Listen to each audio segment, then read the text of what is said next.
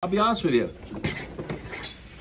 King of the Hill worked. Did I want to call it Mahomes Mountain? Yes. Did they convince me to call it King of the Hill? Sure. I went with it, and his segment was pretty good. You did a good job. Brew was good. I thought my points on Luka not contributing to any defensive uh, effort whatsoever was fascinating. The other thing that we learned was Brew from this Derrick Henry trade, all in on the Ravens. And here's why I know if you want to go back and check it. He said, I'm sad about Patrick Queen leaving. I'm like, why? We're just analyzing free agency.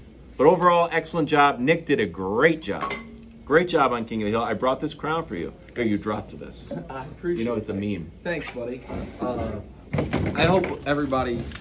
This was what Wild was doing right there was like when a player knows he had cost his team a game, and so he goes to the press conference and just tries to, you know, shower his teammates with compliments.